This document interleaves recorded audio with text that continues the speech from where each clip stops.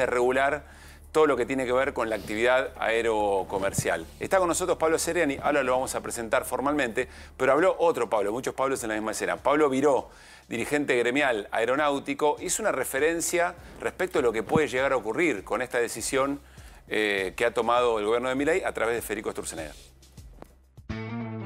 Esto es la continuidad de la política de, regulación total de la aviación, en sintonía con lo que están haciendo con toda la economía, que viene de la mano del DNU, que sigue vigente, este, y que les permite, les permitió derogar eh, el 70% del código aeronáutico, hacer entre gallos y medianoche sin convocar a los trabajadores, haciendo la mímica que convocaban a todas las este, a todas las fuerzas este, libres del pueblo, digamos, este, lo hicieron para, una, una regulación total, este, que es eh, algo que no, no funciona en ningún lugar del mundo, que no existe en estos términos. Pablo Seriani actualmente es gerente general de Autopistas de Buenos Aires, pero fue presidente de Aerolíneas Argentinas. Pablo, ¿cómo estás? Muy buenas noches. ¿Qué tal? Buenas noches. ¿Qué significa lo que decidió Federico Sturzenegger en términos concretos? ¿Qué puede ocurrir?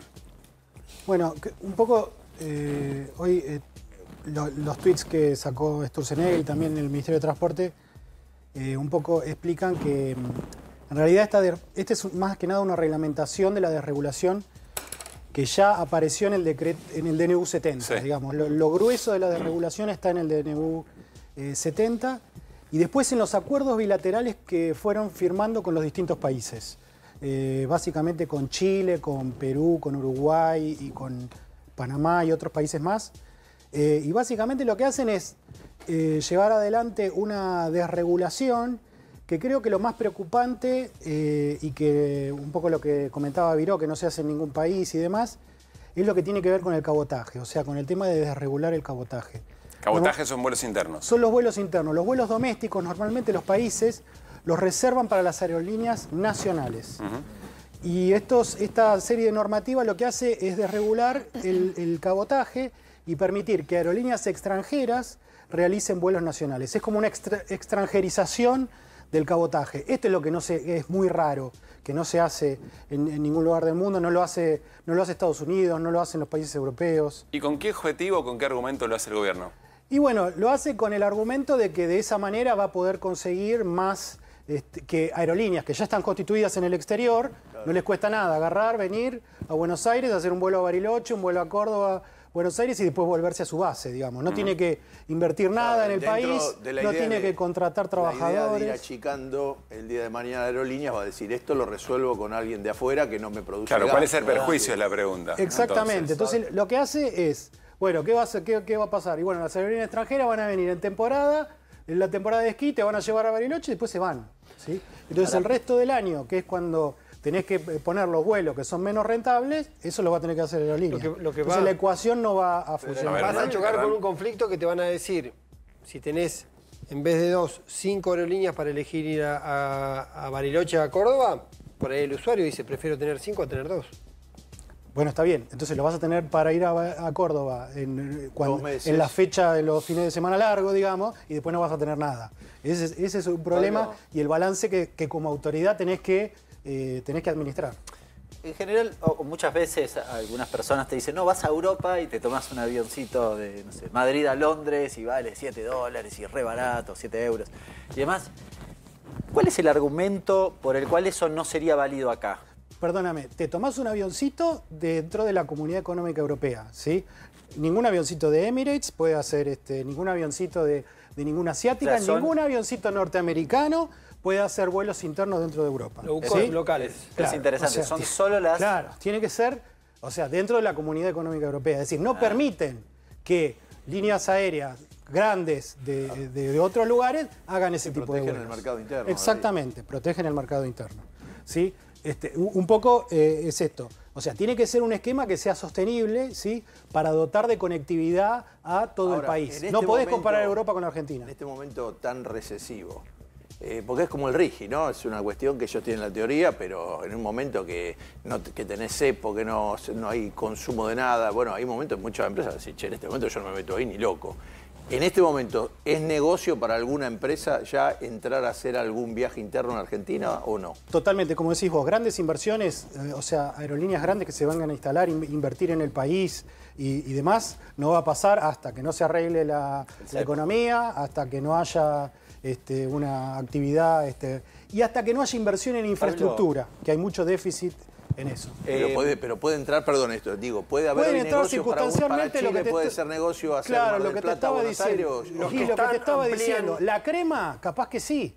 Para Pero una no. aerolínea que no tiene que hacer nada. ¿Qué es la crema? Porque ya la, la crema es lo- los, vuelos en temporada Cortito, a, a los lugares turísticos, ¿sí? Que son los vuelos rentables. Aerolínea que hace con los vuelos rentables financia los vuelos que no son rentables. Entonces, eh, pero sí, puede haber cuestiones de oportunidad que líneas aéreas que ya están constituidas, que no tienen que invertir absolutamente nada, que usan los pilotos y la mano de obra que ya tienen contratada, Bueno, que pero es hace poco se externa. fue de acá, los chilenos se fueron. Y en ¿no? relación a los impuestos, te pregunto cosa que en general la gente te dice, no, porque cuando compras el boleto es un festival de impuestos y vale, no sé, tres veces lo que vale originalmente. ¿Cómo es la cosa? Sí, o sea, es, es una actividad que tiene este, un, un montón de, de, de costos eh, impositivos y un poco lo que, lo que comentábamos nosotros es que este, toda esa actividad genera una recaudación de impuestos que hace que, por ejemplo, Aerolíneas pague más de impuestos, el doble, más o menos, de impuestos, de lo que recibe de subsidios en, en aquellos años en que, en que recibe subsidios. Pablo, te quiero hacer una pregunta sensible. Eh, siempre cuando se habla de desregulación está el fantasma de que desregular va a significar bajar los requisitos en materia de seguridad, por ejemplo. ¿Eso es un mito? ¿Es un riesgo cierto? Y sí, un poco uno de los problemas que tiene esta, esta, eh, eh, esta normativa es que reduce mucho los requisitos que se le piden a las aerolíneas. ¿no? Entonces dice, no, vamos a desregular. Y en realidad no es que el, el sistema aerocomercial está muy regulado en la Argentina, está muy regulado en el mundo. ¿Por qué? Porque justamente muchas de esas regulaciones tienen que ver con la, con la seguridad. Y esas regulaciones tienen que ver también con la capacidad de control que tiene el Estado sobre eh, las aerolíneas. Entonces, este, acá están diciendo, no, vamos a regular, vamos a tener muchos participantes, vamos a tener muchos vuelos, muchas aerolíneas, que yo. Pará, ¿tenés la capacidad de controlar todo eso? ¿Tenés la capacidad de asegurarte que eh, esas aerolíneas van a cumplir con los requisitos necesarios como para garantizar la seguridad? O se- o sea, porque para eso vas a tener- necesitar más recursos, Sí. vas a necesitar más inspectores, vas a necesitar más capacitación, más viáticos, más un montón de un, montón de recursos que tiene que tener el Estado. Y con este Estado ausente, digamos, que estamos teniendo, esta cosa de el ajuste más grande de la historia, ¿sí? No parece creíble que el Estado va a tener más capacidad que la que tenía en el pasado para poder eh, controlar y realmente hacer una fiscalización efectiva sobre la actividad aerocomercial. Última, ¿cómo te imaginas que va a caer aerolínea y qué, eventualmente, qué consecuencias tiene eso como aerolínea de bandera para un país?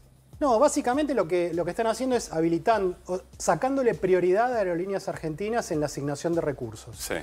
Ahora, sacándole prioridad para qué? Para dársela a quién, ¿sí? Entonces, para dársela a low cost, empresas extranjeras y demás. Entonces, lo que va a haber es una, digamos, una, una serie de políticas que van a atentar contra la, contra la participación de mercado y la rentabilidad que tiene aerolíneas y que van a hacer que la, la aerolínea cada vez tenga más problemas para, para desarrollar sus actividades, ¿no? Gracias, Pablo, por haber venido. ¿eh? Gracias a ustedes.